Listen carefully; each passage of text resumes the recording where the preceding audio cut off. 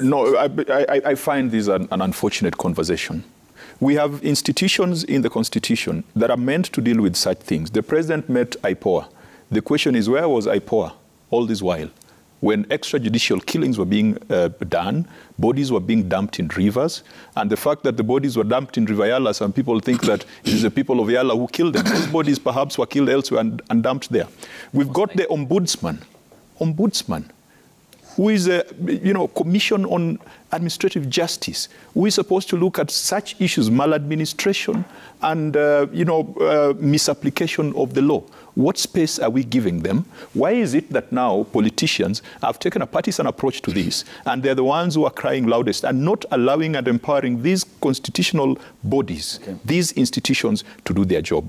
It becomes extremely dangerous when the political class wants to use the criminal justice system to settle scores.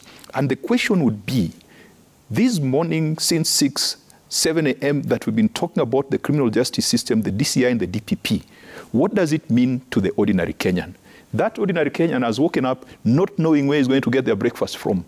They've woken up not knowing where their child who's doing class 6 exams and class 8 exams is going to go to because we've got a government that is completely clueless.